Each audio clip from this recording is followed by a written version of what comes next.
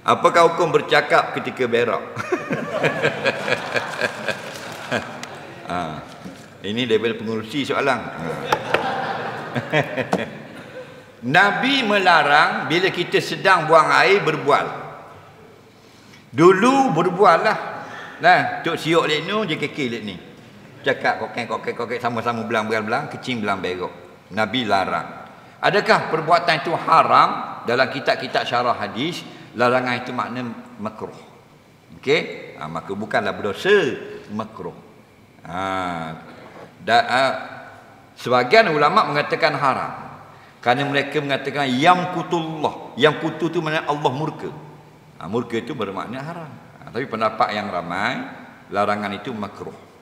Nah, ha, learning kita duduk dalam bilik air seorang air berok, cing tapi bawa telefon. Ha, ini boleh cakap telefon. Halo, halo. Mau ada dah ni? Ada marang.